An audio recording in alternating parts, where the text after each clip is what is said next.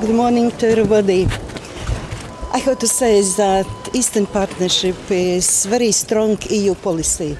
Today we will discuss uh, four items. It is uh, good governance, mobility, economic relations, and uh, trade. And I have to say that Eastern Partnership it is for cooperation.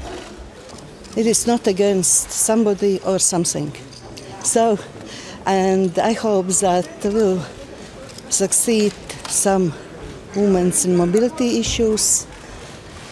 Accession, uh, we hope that um, associative agreement with Ukraine will start in 1st of January next year.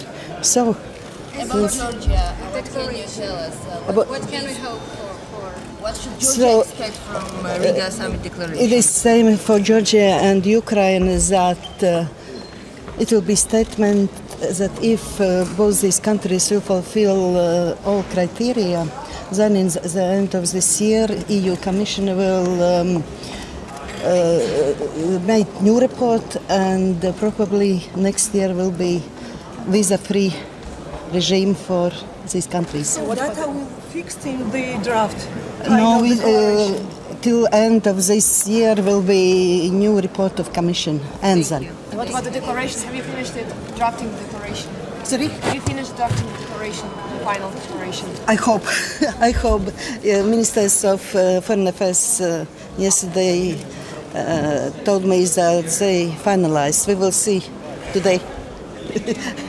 when heads of governments.